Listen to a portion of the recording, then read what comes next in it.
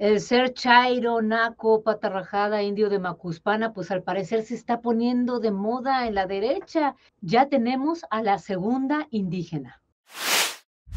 Mi papá, eh, nosotros eh, somos de un pueblo que se llama Tizatlán, en Tlaxcala, de donde era Xicotenca. Entonces, es, para que me entiendan un poco los del altiplano, es como si fuera yo de Teotihuacán. Ok. Eh, para la cultura tlaxcalteca.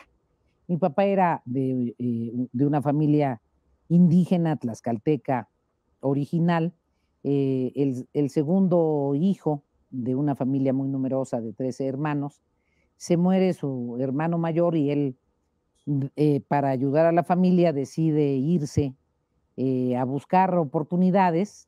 Los indígenas tlaxcaltecas son fuertes, son altos, son fuertes. Y mi papá se quedó en Veracruz a buscar oportunidades dónde he oído esa historia, dónde la he oído. Pero bueno, esta contendiente del Frente Amplio por México, pues está desaprobando a Xochitl Calves. ¿Estarían dispuestos dentro de la coalición a cambiar de estrategia para apoyar a Xochitl Galvez? Sería muy bueno preguntarle a, don Santiago Krill, que es un cuadro del PAN, y a otros de los candidatos registrados por el PAN, eh, lo más natural es que entre compañeros del mismo partido seguramente hagan estos esfuerzos de ordenamiento de a ver si unos participan y otros no. En eh, mi caso yo tengo una muy buena relación con Xochitl. Hasta hace pues casi casi menos de un mes Xochitl conversaba con, con todos quienes quisieran oírle que quería ser jefa eh, de gobierno de la Ciudad de México. Seguramente aquí también lo declaró.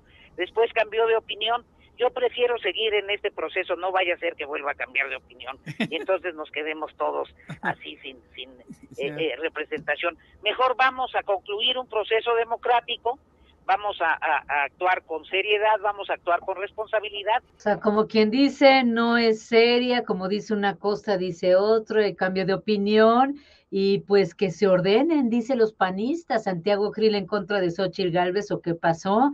Ay, qué buenos amigos son.